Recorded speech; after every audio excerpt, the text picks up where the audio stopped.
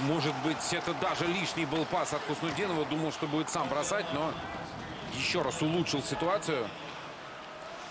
Да, пошла последняя минута первого периода, и около 20 секунд еще на большинство у сборной России остается. Хуснудинов хорошо развернулся пятак, передача, еще передача, гол! Гол, классный розыгрыш большинства, наконец-то! И теперь идите отменяйте, не отмените. Родион Амиров 2-1. Бывший хоккеист. Ему, видимо, не очень понравился этот розыгрыш. Ну и ладно. Мы забили классный пас, подколзин Амиров. А я бы 2:1. отметил Хуснудинова в этой ситуации за первую передачу. Это уже второй пас под Колзина, конечно, гроссмейстерский под э, открытого Амирова.